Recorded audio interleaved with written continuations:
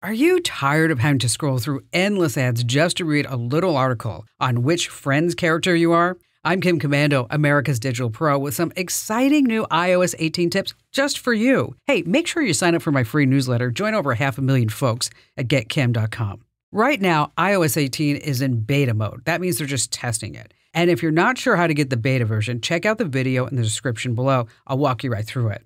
So, one of the most powerful tools in iOS 18 is reader mode. Oh, you're gonna love this. It's a new type of ad blocker. Here, check this out. This is the original article. Then, boom! Wow, look at how clean that looks compared to before. Love that. Want to do this on your own device? Here are the steps. Open Safari. Go to the site where you know there are just a ton of ads.